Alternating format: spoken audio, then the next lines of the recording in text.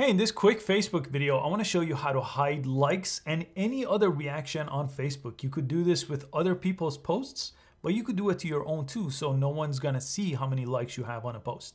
Let me show you how. And the easiest way to do this is with the Facebook mobile app. So that's what I'm gonna use here. Launch it right here.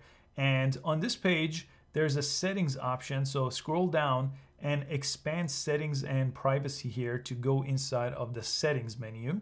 Jump in here and on this page, you got to scroll way down and you'll get to a section called newsfeed here, right here. And there's an option called reaction preferences. Jump in here and you have two different options. So the first one will hide any reactions like likes and hearts on posts that you see from other people on Facebook. So this is gonna hide it from other people's posts. But when you post to your own Facebook and you don't want people to see how many likes or other reactions you have, you could also turn this on too. And both of these turn on will hide any like and any reactions on Facebook. I hope you found this useful. Please give it a thumbs up and I'll see you next time.